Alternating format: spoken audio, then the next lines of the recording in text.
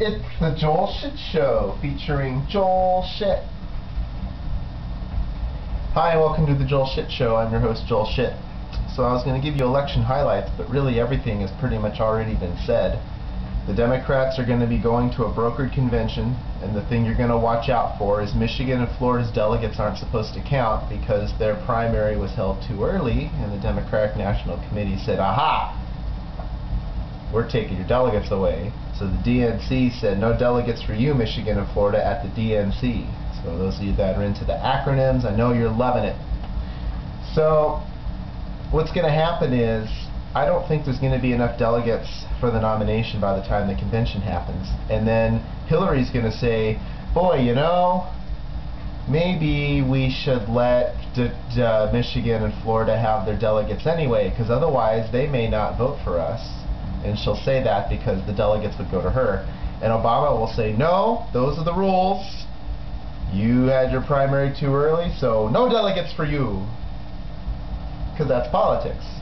So, like the West Virginia thing with McCain and Romney and, and Huckabee, that was pretty genius, you know. Uh, the only problem is I don't know if a McCain-Huckabee ticket is going to win because they're two people that independents, well, independents like McCain, but you're not going to get any more independents by adding Huckabee, and if anything, you're going to turn some independents off. Republicans are going to vote for them anyway. It doesn't matter who the vice president is. Plus, McCain's old. He's going to be the oldest president ever if he wins. And then, do you want Huckabee to be president? Something you got to think about. You know, president hasn't died in office in a long time. We're overdue. And uh, you know, McCain looks youthful, but you know, we're going to see some 527 ads talking about Botox. I know it. Just know it. McCain looks pretty good. He's 71. I mean, my grandpa was 71. He didn't look that good. He looked better. No, he didn't look better. But my grandpa's a lot funnier than he is. But then, you know, who knows. So we'll see what happens. Yesterday I went to Independence High School and went to talk with a bunch of teachers and students about junior achievement programs and they fed us, which made the kids show up and they got out of fifth period, which made the kids show up.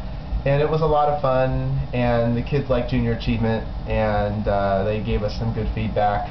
But they were kind of afraid to talk, you know. And it's funny because I forgot how big Independence's campus is. I mean, there's about 3,500 students there. And that's a big high school. I mean, my high school had 2,200, and you know, it wasn't. Uh, it was. It was pretty big too, but you know, we always like to say that Independence High School is supposed to be a jail, and they made it into a high school. But uh, I don't know how true that is. You know how it is in high school. You always want to make things up because they sound cool. That's all the time we have for today. Visit us on the web at joelshitshow.com. Email joel at joelshitshow.com.